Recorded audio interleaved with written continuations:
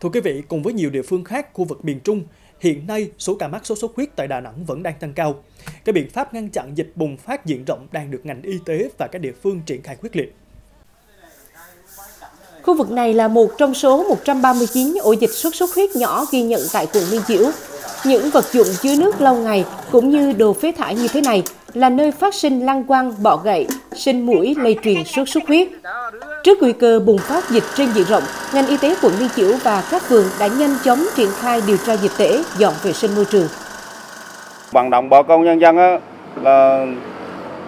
bỏ muối vô các cái chậu cũng như là dọn vệ sinh môi trường, dọn dẹp ờ, phế liệu những ngày mà mưa đạn nước thì à, đến à, từng nhờ vận động bà con nhân dân chúng ta là, là dọn vệ sinh cái, cái, cái đổ nước à, không để cho mũi sinh sẵn.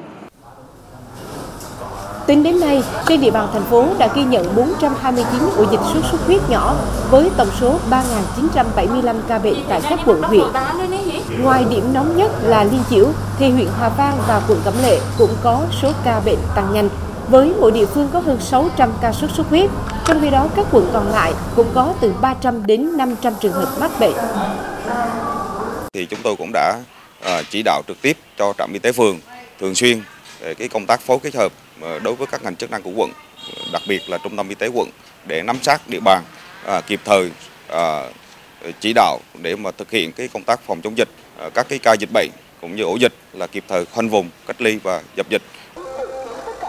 từ giữa tháng 7, Đà Nẵng đã phát động toàn dân ra quân dọn vệ sinh môi trường, diệt lăng quăng bọ gậy để phòng chống sốt xuất huyết. Để đảm bảo hiệu quả thì hoạt động này phải được duy trì thường xuyên. Trong đó, theo khuyến cáo của Bộ Y tế thì hàng tuần mỗi gia đình cần dành 10 phút để diệt lăng quăng bọ gậy. À, dịch bệnh à, sốt xuất huyết hiện nay vẫn đang diễn biến rất phức tạp à, với số ca mắc tăng nhanh. À, Bộ Y tế dự báo thì à, đỉnh dịch có thể rơi vào tháng 7, tháng 8